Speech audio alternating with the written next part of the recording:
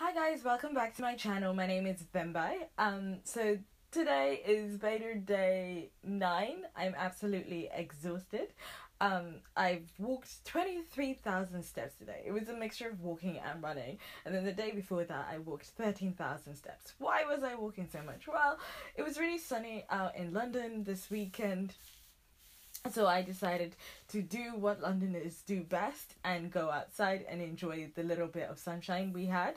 Um, so on Saturday, I met up with Leah at Lordship Lane. We sort of looked around the graffiti. Um, we went into stores. We had iced coffee because you know first hot day of the year you have to have iced coffee. And we just walked um, around. She made me dinner, which was like featured in my vlog on Saturday. Chilled. Went to Brockwell Park for a quick um well, we chased the sunset essentially, but we missed it because you know we were cleaning up from dinner, and it got to like seven, seven thirty or whatever, and the sun was humongous. But sadly, it was behind the trees of Brockwell Park, so we missed that. Um, and then today I okay disclaimer. So my friend Jess, I was talking to her. I was supposed to meet her on Thursday and then Friday, but th- those plans didn't happen. So I was like, "Hey, let's meet up on Sunday." And she's like, "Oh, we should do brunch and biking."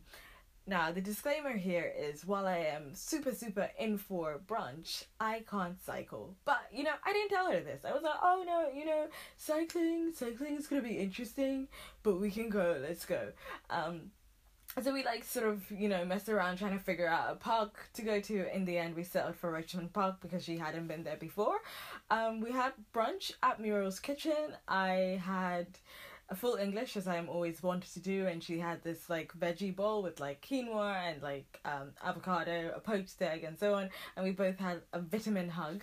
Um, and then we decided to walk to Richmond Park. Um, and she tried to teach me how to cycle a bit when she worked, figured out that I can't cycle for shit. And so we were like, after Googling, we found that apparently when someone is first learning, the idea is to make them glide just a little bit. Um, on the tracks on the track or the road or whatever until they are balanced i do not have balance but as a result of this experience i have booked finally for real for real this time booked my one-to-one lesson um with a Greenwich uh like teacher so I will probably do a vlog for that because it's gonna be on the 23rd of April so maybe that is the day I learn to ride a bike I don't know we'll see um, but then after that, we sort of just chilled in the park. I went for a run, hence the 23,000 steps.